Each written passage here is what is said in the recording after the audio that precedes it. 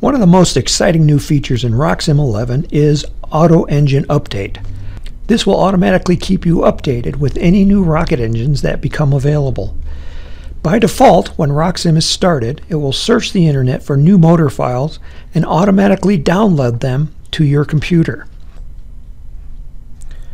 To see the new motors, go to the File menu and select Reload Engine Data. The motors that will be shown in your selection screen are those listed in the right-hand column. There will probably be motors that you don't want displayed when you are loading motors to run a simulation, so you can move those motors from the right-hand side to the left side. They will still remain in your database, they'll just not be shown to you when you are picking motors.